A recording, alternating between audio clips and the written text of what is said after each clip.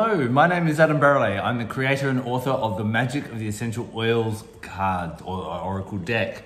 Today I'm here to share with you what you can expect happening up in the heavens, the astrological forecast, and how that's going to impact you, and how you can lean into different essential oils to support you during these times.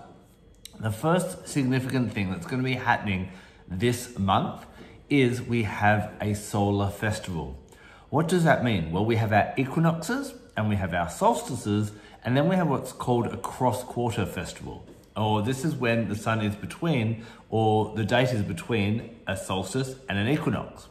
For those of you in the Northern Hemisphere, it is the festival of Lughnasadh. This is the midpoint, the exact midpoint by the day between your summer solstice and the autumn equinox although you still have lots of warm, sunny days and it's, you know, very fruitful and abundant where you are in the Northern Hemisphere, the days will slowly start to come down. And so it's time to start looking at our harvest. What do we accomplish? How can we make the most of that? And how can we share that with other people?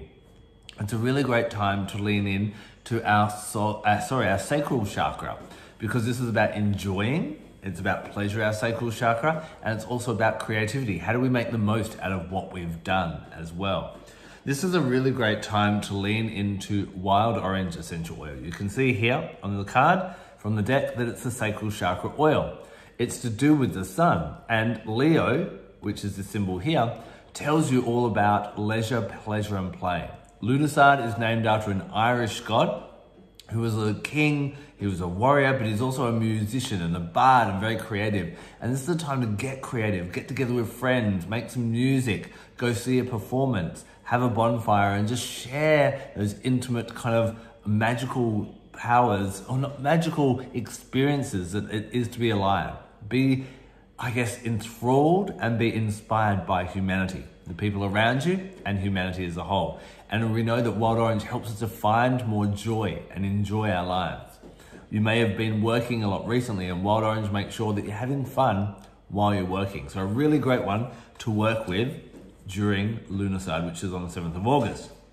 Now, opposite to that, if you're in the southern hemisphere, you're halfway between the winter solstice and the spring equinox although the days are still cold and it's raining outside here in Perth, Australia today, the days are getting a little bit longer. And day by day by day, the sun's getting a little bit stronger. So we're coming out of our hibernation, out of our introspection. And so we're kind of bringing our energy into the third eye chakra. It's a really great time to work with basil, a third eye chakra oil. Basil helps us to get focused. If you look here, it's to do with um, you've got Saturn there. And Saturn's about focusing on what we want to do and making sure that we're kind of getting our next set of goals in alignment. So really beautiful to do during Imbolc. Imbolc actually, which is this festival, translates to mean news milk. We'll see that first kind of signs of life, maybe baby animals kind of popping out of nests and burrows, uh, new flowers starting to come up. So we celebrate that and we kind of live in tune with that.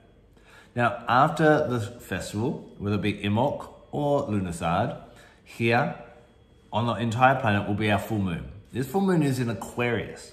And what happens is not only does each zodiac sign govern people that are born at a certain time of the year, but it also governs an aspect of our life. So, for example, Taurus is to do with our money, Virgo is to do with our health, Gemini is to do with our mind, and Aquarius, which this full moon is in, is to do with our humanitarian efforts. How do we make this world a better place?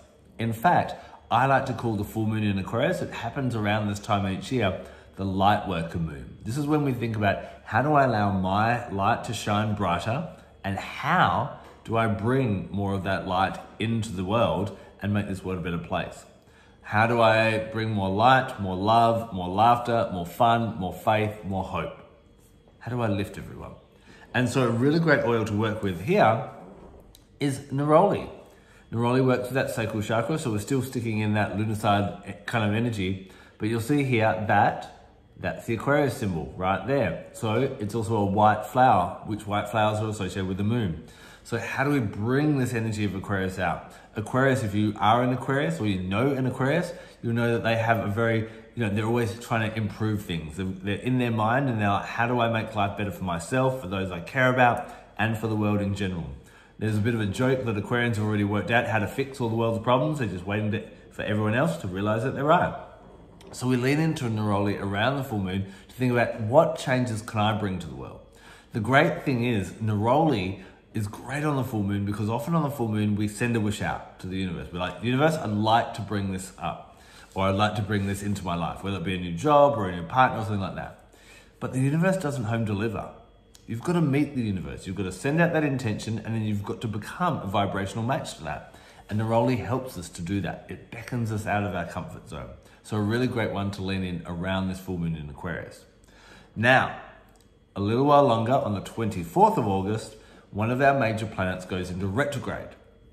A retrograde is when it appears that the planet is going backwards in the sky. You've heard of Mercury retrograde, I'm sure, but all the planets go into retrograde. And when they do, they actually take away the energy that they normally bless to the Earth. So Uranus, some people call it Uranus, Uranus is about change, about being a little bit quirky. What's really interesting, all the other planets, as they go around the Earth, they kind of go on a spinning top direction, like the sun, like the Earth does. Uranus is more like a rolling ball, a bit of an oddball is this planet. So when he's direct, when he's not in retrograde, he brings little changes. He keeps life interesting. But what happens is when he goes retrograde, we might find that life's becoming a bit stagnant because we're not getting that Uranus energy.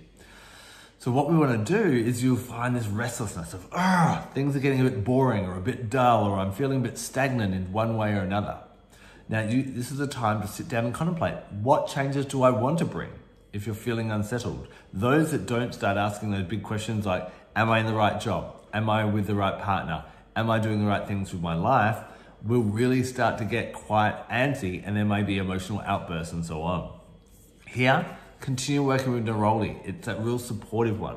But we can also work with another oil from the bitter orange tree as well. This is the flowers of the bitter orange tree, and this is the leaves and the twigs. Petitgrain. Petitgrain grounds us. It makes sure that we have a strong foundation that it's clear so that when we're clear, we know how to go forward. So working with these two from the bitter orange tree are really, really spectacular. So there's a lot of orange energy. We've got wild orange or sweet orange for those celebrating Lughnasadh in the Northern Hemisphere, and then petitgrain and neroli will be really great as well. After Uranus retrograde, our final big astrological thing happening this month is going to be our new moon in Virgo. Were you paying attention before? Do you remember what Virgo was about? Virgo is about your health and well-being. Now, especially if you love essential oils, I would guess that you're probably a relatively healthy person already. So what do we focus on? Well, would you give yourself a 10 out of 10 for your sleep, for your diet, for your weight, for your um, water intake, for the fresh air, for exercise, pain management, all those different things? Probably not. So the new moon in Virgo is an introspective time. Whereas we put out our plans in the world, on a full moon, we contemplate what we want on a new moon. So my question to you is, how could you up level an aspect or two of your life? Maybe you could just drink a bit more water. Maybe you could go to bed a little bit earlier. How do you set those intentions? And so, you know, this is a time for really honoring your body. And Cassia, which is associated with, that's the symbol for Virgo there, is really great. It's also associated with the dwarf planet Ceres, which you may or may not have heard of. Ceres is a nurturer. So about how do I nurture and how do I love my body a little bit more. And so Cassia is a really great one to lean into around the new moon. So not only can you just work with one oil or two oils around a time, but you can make blends as well. So let's say, for example, that it's Lughnasadh, and this is the time when we focus on our sacral chakra. So what you can do is we already have our neroli, or sorry, we already have our wild orange and our neroli, which we might want to work with as two sacral chakras oils. And then what you do is you shuffle, thinking about what you know about Lughnasadh, and I have videos on YouTube if you'd like to know more, and my newsletter and my Instagram will all talk about them. Give this a bit of a shuffle, and then what you want to start doing is start looking for your third. I always like to make blends with freeze, sacral chakra oil. Here we go. So tangerine. So mixing tangerine, wild orange, and neroli would be really great for the sacral chakra. Now, let's say we've got the full moon in Aquarius. We've already got our Aquarius oil in our neroli. So then what we do with our deck is we look for either on this side a moon or on this side an Aquarius. And off we go. Let's See if you can spot them before I do. Now don't worry if you don't know these symbols because, oh, there we go, there's a moon. So I'm gonna use tea tree. These symbols are all in the guidebook that come along and red mandarin, She's the product of the month if you're in North America this month. So I'm gonna mix a little bit of neroli, take a little bit off the roller if you get your oil from doTERRA, A bit of tea tree, which means there's a bit of cleansing, a bit of nurturing needed, which we talked about, and red mandarin, which is bringing a bit more joyousness into our life. And that's how you could make a full moon in Aquarius. So you can see we've got Aquarius energy, and then these two both have moon energies by that symbol there. And as I said, there's a guidebook that comes with the cards, and that'll tell you all the symbols so you know what you're looking for. And I've got a full video showing you how to make those blends with the QR code in the back of the guidebook as well.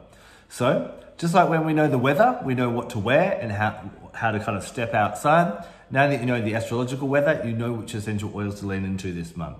Lean into those oranges, the wild orange, the neroli, the petitgrain. If you're in the southern hemisphere, basil is going to be great around the start of the year. And we're all going to really enjoy cassia for that nurturing around that new moon in Virgo. I look forward to joining you again next month. Take care and blessed be.